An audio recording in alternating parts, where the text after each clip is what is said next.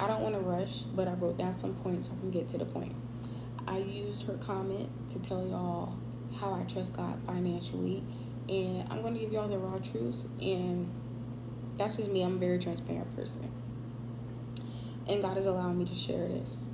Um, everybody talks about Matthew 6 and 33 through 34, seeking first the kingdom of God um, and live righteously. Like people talk about that, but they don't really break it down correctly. But this is what I live by. This is not just a scripture I quote. This is a scripture I live by. Seek the kingdom of God above all else and live righteously. I'm going to just stop there. There's a comma, but I'm going to stop there. When you're seeking God first, you're making him a priority. And it's God, what we doing today?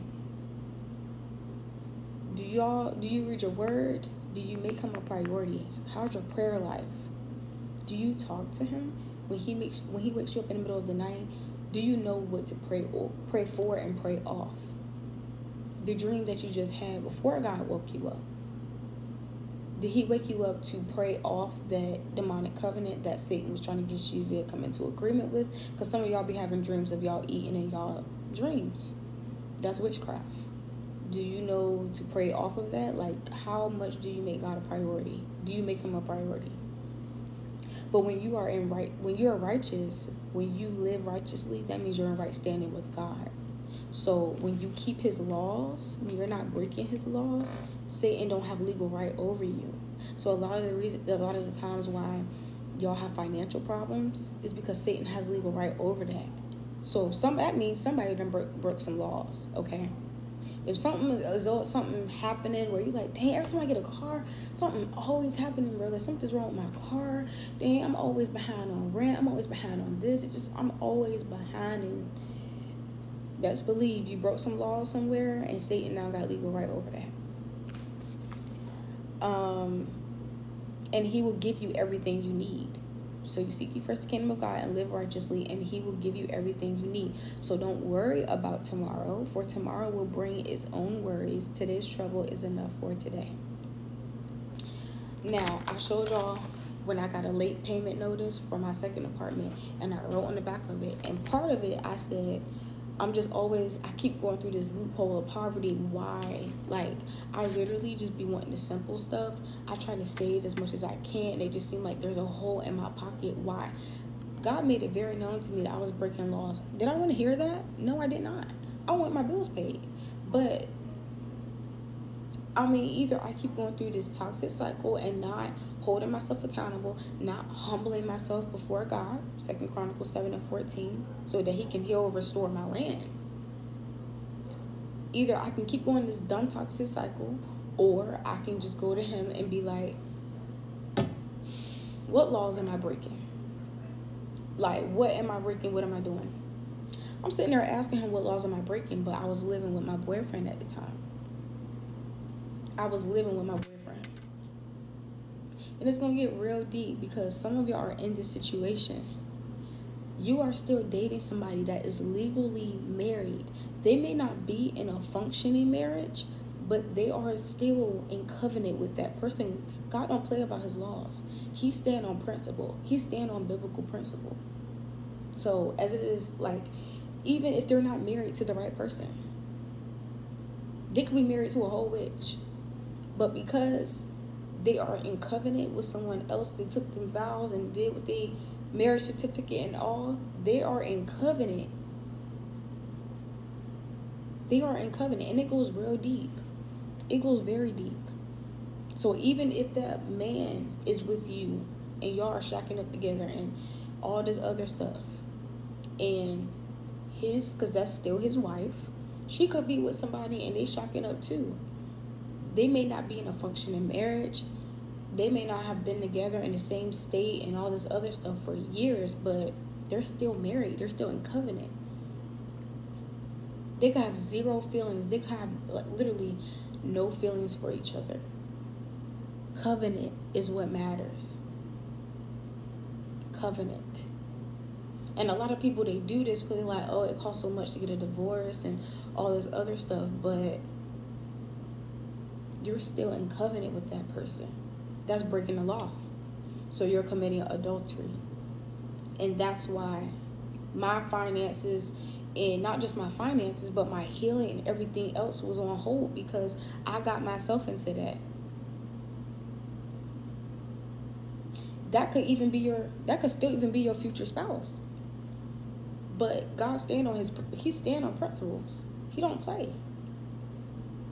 So yeah, that could be your future husband, your future wife, but that has to be dealt with first and then y'all may still have to go through some type of separation where refinement has to happen. Oh, it goes deep, but I'll stop there. Having sex outside of marriage, of course, fornicating. You are in covenant with Satan, kingdom of darkness. You owe him. He has legal right over you. And I'm listing things that was that I broke, okay? Sodomy acts. You giving him head, he giving you head. That is an act of sodomy. That is not of God. That's a law. That is a law. Take that back to God because that is a law. It does not procreate. That's a law. A lot of people are going to disagree, but these be the same people that don't make God a priority. Pride, lust, bitterness, which is resentment and unforgiveness. This was all the things that God was letting me know why I'm always in a loophole of poverty. But if you reject this, because oh it's not that deep then that's why you perish as well for lack of knowledge. And the gift of knowledge is of the holy spirit. That's a gift of the holy spirit. So you're rejecting god so god is going to reject you. Read hosea chapter 4 whole chapter. And so i had to go through my refining season. I was homeless for eight nine months sleeping in my car and everything sleeping in my car from july 3rd 2023 to november 12th 2023 went to Houston, Texas for five days. Didn't know I was going to be there for five days on some Abraham type stuff. Trusting God. I passed the test. I sacrificed my car, the same car I was living in. Came back. Didn't know where I was going to go, but I stayed with a relative for two and a half months. Did what I was supposed to do there despite the betrayal, but I still did what God wanted me to do there. Um, went back he told me to go back to Houston, Texas. Slept in an airport for a month. It was the worst. That was part of my pruning, refining process, and I cried almost every night, but I still let God use me. I walk in the office of a prophet. That was very uncomfortable. I did not shower for a month. I washed myself out out of a whole sink. But you know what? God was still providing for me. I would be asleep at the airport for a whole month.